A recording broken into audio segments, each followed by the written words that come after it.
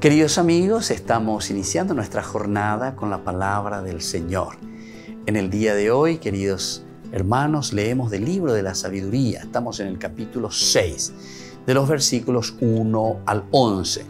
Aprendan a ser sabios, ¿eh? de este libro que lleva luego el nombre de Sofía, es decir, de la sabiduría.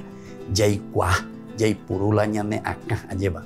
Cómo ser sabios Escuchen reyes y entiendan, aprendan gobernantes de todo el mundo. Pongan atención ustedes, los que dominan a los pueblos están orgullosos de esa multitud de súbditos.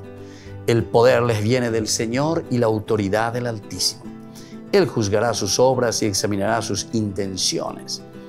Porque siendo ministros de su reino, no gobernaron rectamente ni guardaron la ley, ni obraron según la voluntad de Dios. Lo primero entonces nos echa en cara hoy el Señor de cómo nosotros estamos gobernando. A veces ya me de un poco de chachá en la cola ya es ahí señal de lleva. ¿Por qué? Y porque no fueron capaces, dice usted, de darse cuenta que tienen una responsabilidad tan grande en el gobierno, no simplemente el gobierno de las naciones, el gobierno político, upea y añande kwa pona upea. Va ella bañandeña y meña y lleva qué clase de gobernantes estamos teniendo sino que aquí es el gobernar nuestra propia vida el gobernar nuestra propia familia el gobernar nuestras propias instituciones el gobernar nuestra comunidad que siempre tiene que estar al servicio.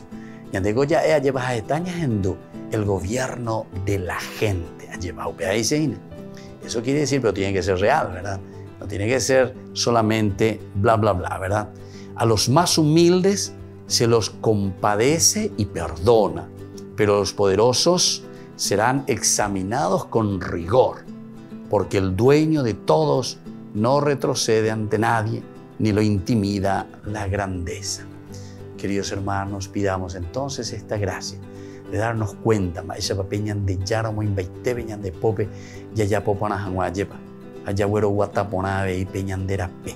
Ofrecer lo mejor para nuestra sociedad, para nuestra familia, para nuestro mundo. Que la bendición de Dios descienda sobre todos ustedes, el Padre y el Hijo y el Espíritu Santo. Amén.